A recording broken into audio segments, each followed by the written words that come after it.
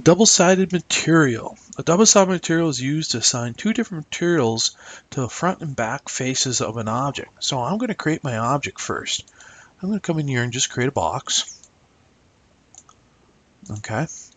And now what I'm going to do is I'm going to pick on this box and I'm right click and I convert it to an editable poly. I'm going to come over here and I'm going to go to polygon I'm going to select this top polygon, the top surface, hit delete. Now I can see into the box.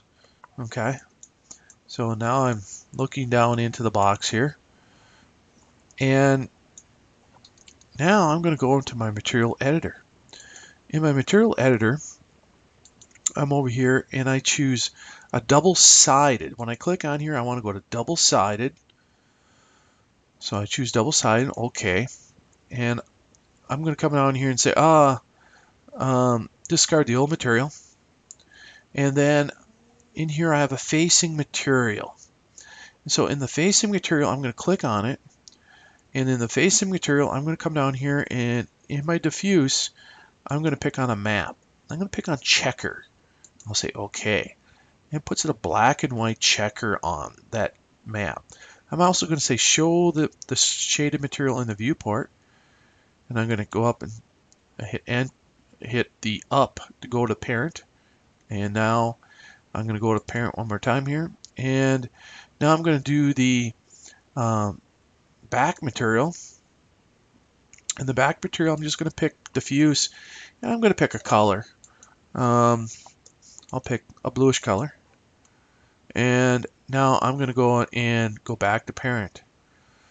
Now what I'm going to do is I'm going to go and put uh, assign a material to a selection.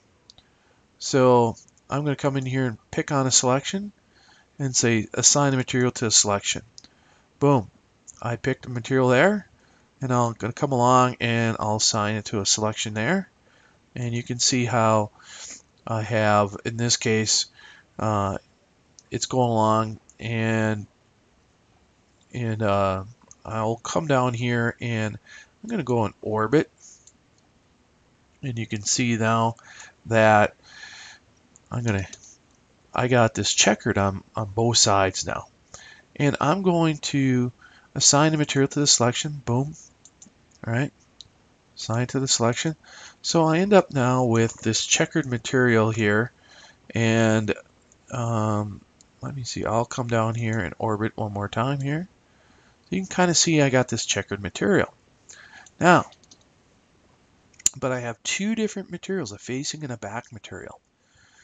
So I'm going to come up here into my render and you can see that when I go to do a render here that it has a facing material is checkered but the back side of my uh, rendering is the blue.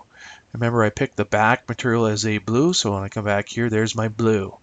So when I go up there's my facing material. It's checkered. All right, so here is my checkered material right here. So I go back up to the parent.